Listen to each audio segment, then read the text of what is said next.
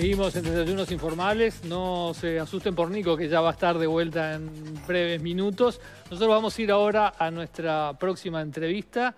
En días pasados se presentó Ágora, un think tank, un centro de pensamiento destinado a tratar de instalar temas que permitan renovar la agenda política e instalar una agenda de transformaciones en el Uruguay. Para hablar de Ágora recibimos a dos de sus impulsores, el economista Gabriel Odone y el contador Bruno Gili. Bienvenidos. Buenos días. Muchas gracias. Bueno, cuéntanos qué es Ágora. ¿Yo?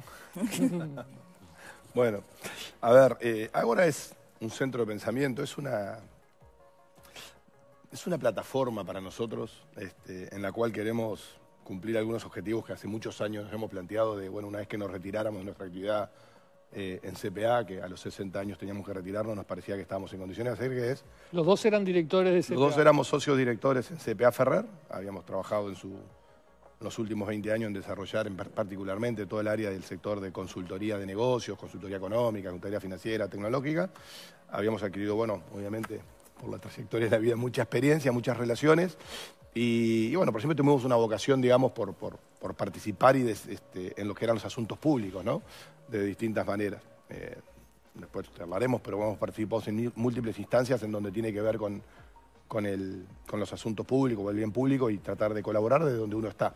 Ahora nos parecía que podíamos poner algo y poner esa experiencia a disposición, digamos, de, un, de la sociedad a través de, convocar un montón de personas de distintas generaciones, en particular mucha gente joven, muy relevante hoy, muchas de ellas está mejor formada, seguro mejor formada que nosotros, más global, que a veces en Uruguay les lleva mucho tiempo el poder este, exponerse o hacerse pública o estar en consideración y nos parecía que podíamos poner un, granito de arena poniendo nuestra trayectoria a disposición de esa posibilidad de que mucha gente apalancar o levantar lo que estaban haciendo en múltiples temas vinculados a los asuntos del país, como la economía, la tecnología, el desarrollo económico, la convivencia, la salud, la educación, y así las relaciones internacionales y así seguirá creciendo. Entonces esa idea de construir una gran red, por eso tenemos socios, no es, no es un proyecto de Gabriel y Bruno, sino que rápidamente es un proyecto que desde el primer día lo pensamos con Victoria Gadea, con Germán de Agosto, eh, y rápidamente salimos a hablar con un montón de gente y bueno, hoy tenemos creo más de 100, más de 100 personas que se han asociado y que quieren participar de esta experiencia de construir una red de pensamiento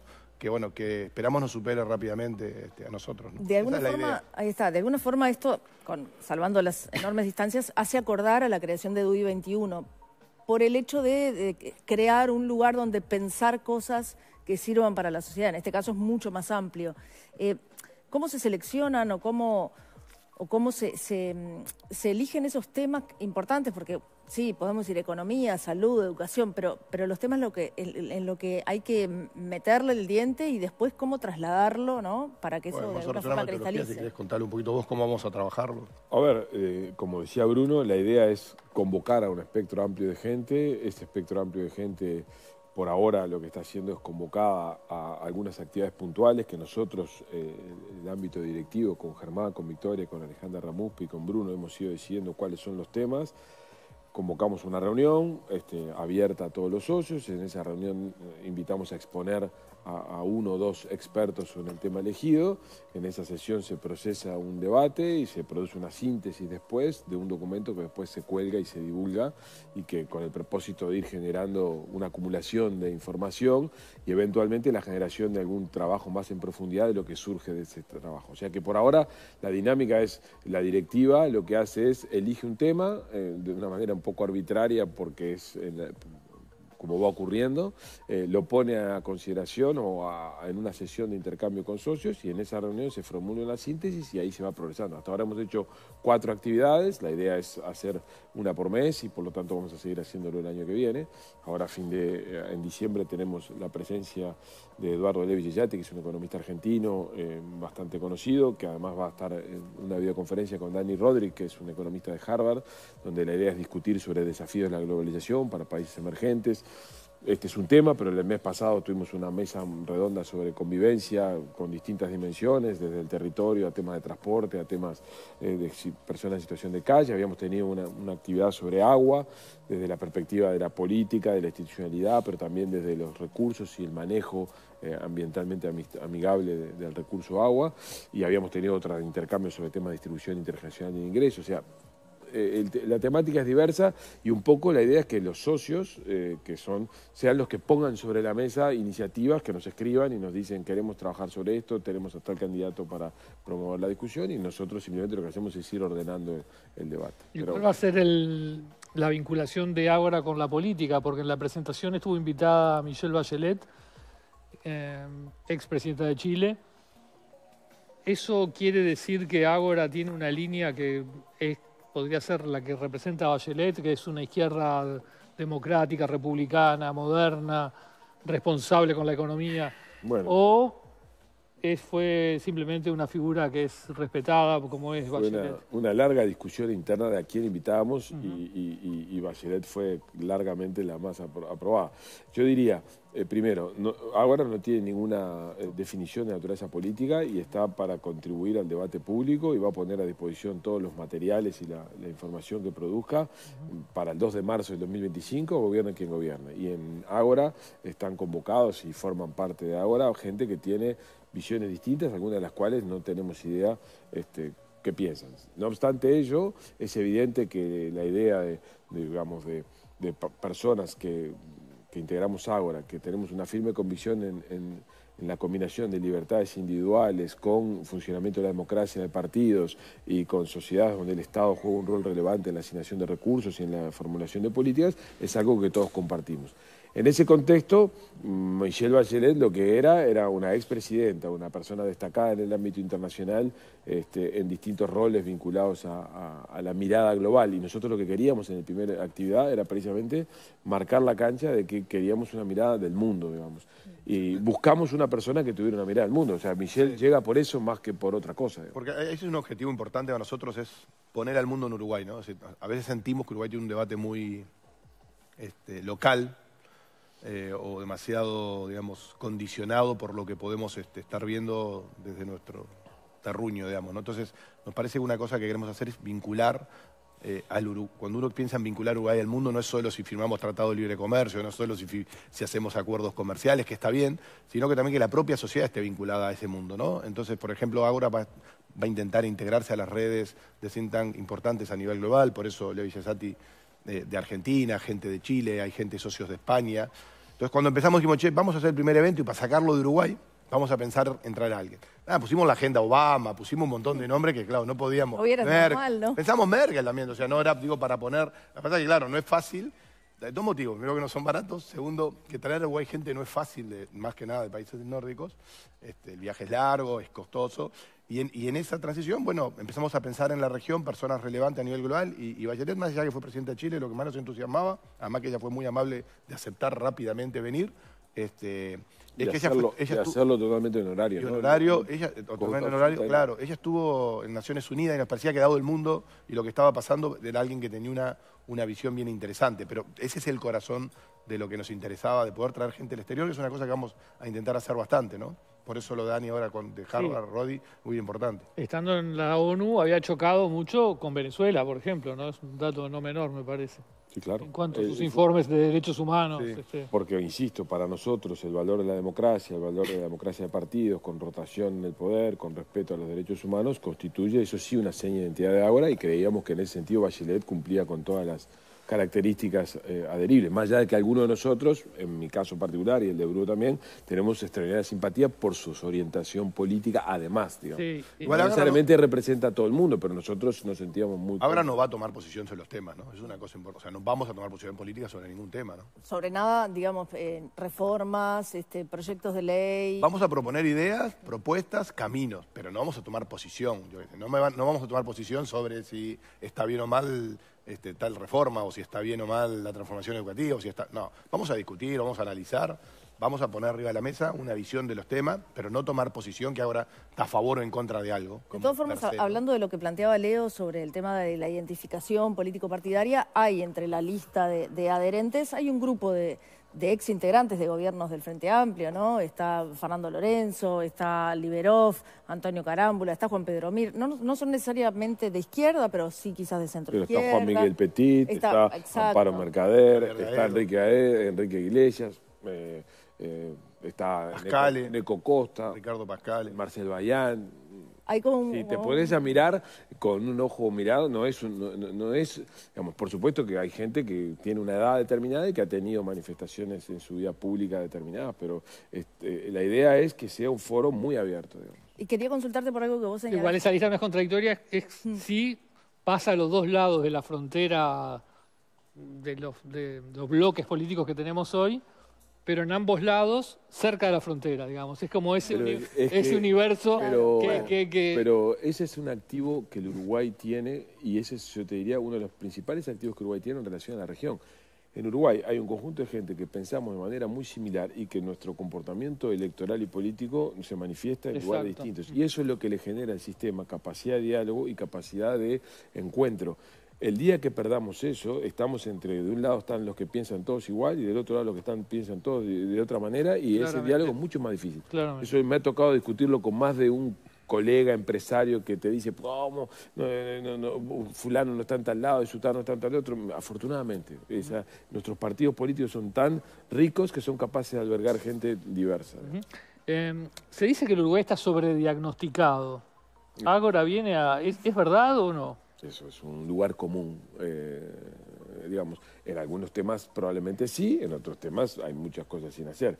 Y los diagnósticos no solamente suponen describir lo que pasa, eh, sino que hay que un diagnóstico tiene que incluir seguramente un, un, conjunto de recomendaciones sobre qué habría que hacer y cómo habría que hacer lo que hace. Ahora se va a poner a trabajar fuertemente y esa es nuestra vocación, no tanto en lo que creemos que habría que hacer, sino en cómo hacer que las cosas que son necesarias hacer se hagan. Se hagan, ¿no? Que, que es el paso que nos cuesta dar, ¿no? De hecho, lo definiste como un think un centro de pensamiento, eh, pero también nosotros nos definimos como, bueno, le pusimos ahí un do think, pero como un centro de hacer, ¿no? De, hecho, nosotros vamos a tratar, un, un do tank, perdón.